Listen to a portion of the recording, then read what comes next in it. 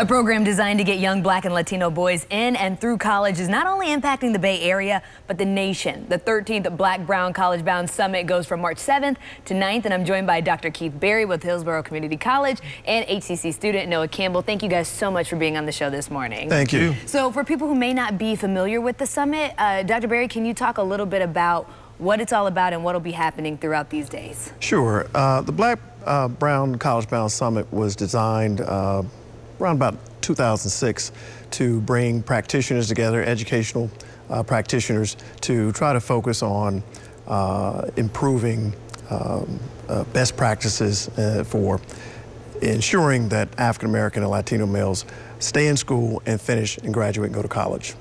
And so this uh, three-day event has some big names attached to it. You guys pull pull some names out of the hat, and you guys have uh, some journalists coming down. Certainly. Uh, we have uh, our keynote speaker is going to be James Brown. Uh, he's with another network, but uh, he is going to be our keynote speaker. He's a Harvard grad, uh, played basketball at Harvard, uh, and certainly uh, men and women who enjoy football will certainly know him uh, from his broadcasts as an Emmy award-winning um, broadcaster. We also have Dr. Michael Eric Dyson, who's going to be speaking as well, and he's all over the media, provocateur, very interesting man, Georgetown professor as well.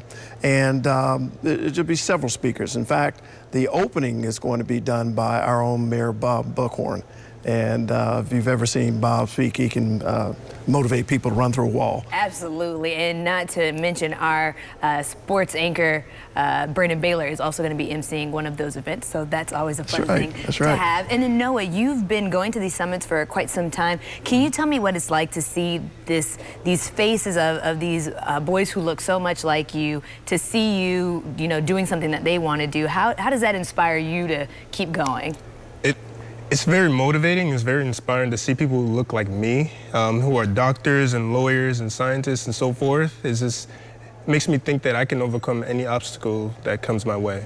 When you see those young boys, do you feel like, do you remember being in that position where they were? Oh, yes, definitely. Um, when I talk to them, uh, they, they tell me about their previous experiences, the different um, backgrounds that they, um, that they lived through and it makes me reflect upon myself and I communicate with them and um, we venture out and think about what we can do to um, be better for ourselves, be better for um, our community, do better for our community.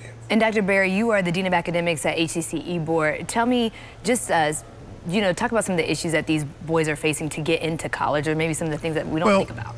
Many of the young men uh, have a lot of uh, obstacles they have to overcome. Uh, first generation college students, um, uh, some of them have uh, come from backgrounds where uh, the academic preparation is not as strong.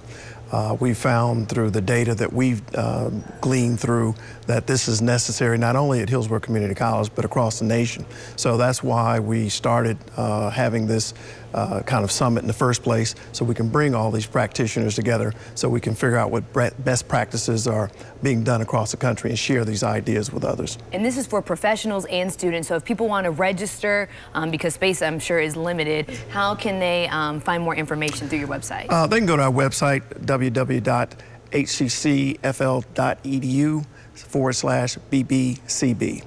Easy to remember. And of course, we'll have this on our website too so that you can get more information. Guys, thank you guys so much for coming on the show. Thank, thank you. you for having us. No problem.